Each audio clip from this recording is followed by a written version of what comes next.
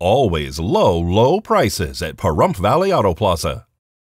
Police responded to a residence in Pahrump on a report of an assault. On January 9th of this year, Nye County Sheriff's Office spoke to a victim who told officers she got into a verbal argument with a suspect a few days prior. According to the declaration of arrest, the female told law enforcement the suspect, identified as Jarod Utitus, left but allegedly took a vehicle belonging to the victim. In the arrest report, the female opened the passenger door that Utitus was driving and jumped halfway into the vehicle while he was backing out of the driveway. The female was unable to get into the vehicle and was dragged coming out of the driveway. The female told deputies the driver continued to back up, knowing that she was hanging by the passenger door. Police were able to see a large hematoma mark on the victim's stomach, left leg, buttocks, and upper left shoulder. Deputies spoke with the suspect who admitted that he knew the female was hanging on by the passenger door and falling out, but continued driving away knowing she had fallen. In the officer's arrest report, Utitus did not stop the vehicle to check or provide aid